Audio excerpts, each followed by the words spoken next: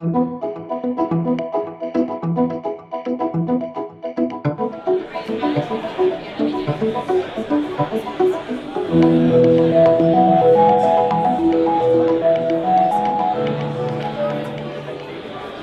started as a one-man web developer and one of the things that I struggled with was doing my accounts, raising invoices. Everything was uh, quite difficult to use that was around at the time. So I built something for me to use and it took a while for me to realise that actually other companies uh, that were in the same unit as me had the same problem and other co companies around the country had the same problem. And then I took that product um, and developed it, like I said, to other businesses and it went from there.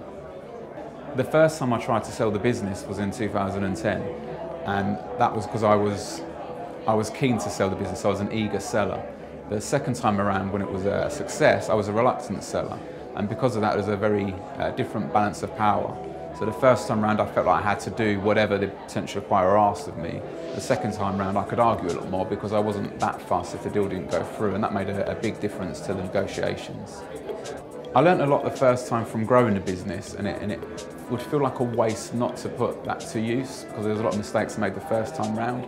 But also I know how much energy it takes to start something from zero, so I don't think I'd want to start another business from scratch, um, but possibly going into business at a later stage.